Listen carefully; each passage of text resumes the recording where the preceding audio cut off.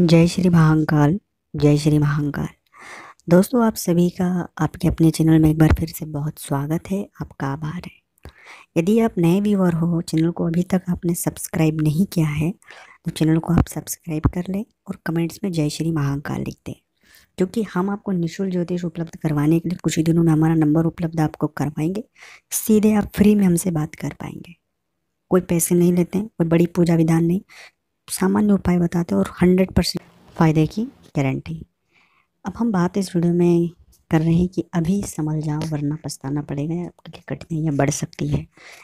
इस विषय पर हम चर्चा करेंगे। आप बहुत सरल है, सहज है, लोगों ये मदद करने में विश्वास रखते हैं और आप किसी को भी, किसी का भी हित चाहते हैं। कुल मिलाकर मैं एक बात कह देना चाहता हूँ।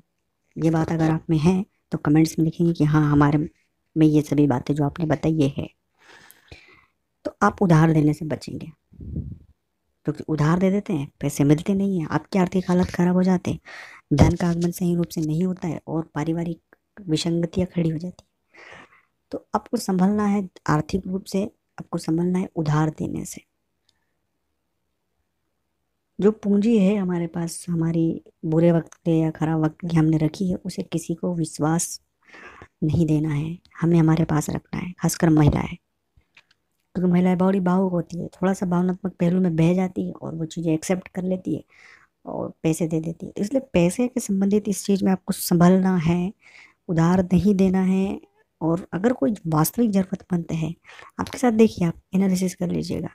आपको जो पैसे आपने जिन जिन को उधार दिए हैं, आपको बाद में ये पता लगता है कि हमसे झूठे बहाने कर इन्होंने पैसे दिए कुछ भी बहाना करके या परेशानी बताकर आपसे पैसे क्योंकि आप बहुत भावुक है, सरल है, सहज है, किसी का दुख नहीं देख सकते तो आपका दुरुपयोग हो चुके हैं। तो पैसे उधार देने से पहले एक बार सोचे, समझे, फिर ही कोई भी आगे कदम बढ़ाए, मेरा ये कहना है। दूसरा है, व्यसन के लिए मैं हमेशा बात करता हूँ कि कोई नशा नहीं करना चाहिए, और उसमें बहुत से बेड कमेंट्स भी आते हैं मुझे, लेकिन मैं अभी भी कहूँगा, कोई व्यसन मत करे, नशा जीवन का नाश है। तीसरी बात है आपके मन में जो नेगेटिविटी आती है, सब कुछ अच्छा चल रहा है, लेकिन एकदम ख़राब ख्याल आ जाते हैं। और यही जीवन के लिए एक बहुत नेगेटिविटी है।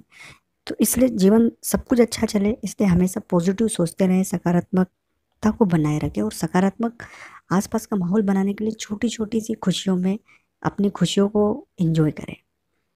आप ये करेंगे तो आपको बहुत फ़ायदा होगा। ईश्वर का हमेशा स्मरण करते रहे, ईश्वर का नाम लेते रहे और मंदिर ज़रूर जाए। दो वक्त मंदिर जाए दोस्तों। और अगर अभी ईश्वर को आप नहीं मानते या ईश्वर में विश्वास नहीं रखते हैं तो प्लीज़ ईश्वर के बिना यहाँ कुछ भी नहीं है। मंदिर जाए, दर्शन करें शिव जी को जल चढ़ाएँ, गायत्री मंत्र पढ़ें, हनुमान चालीसा का पाठ करें, आपसे जो हो पाए, वो सभी चीज़ आप करेंगे। तो आपको बहुत फ़ायदा होगा। क्योंकि दुख में तो हर ईश्वर दुख में तो सभी ईश्वर को याद करते हैं, सुख में ईश्वर को याद करना बहुत बड़ी बात है।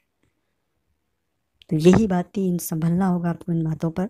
आपको वीडियो कैसा लगा ये कमेंट्स में आप बताएँगे मुझे कि मेरे को आपको वीडियो कैसा लगा। और वीडियो को लाइक ज़रूर करना है और अपनी राय कमेंट्स में ज़रूर बताना है कि आपको वीडियो कैसा लगा है। और वीडियो को लाइक करना है, अधिक से अधिक शेयर करें, चैनल को सब्सक्राइब करें और कमेंट्स करें, जय श्री महाकाल, जय श्री महाकाल, जय श्री महाकाल।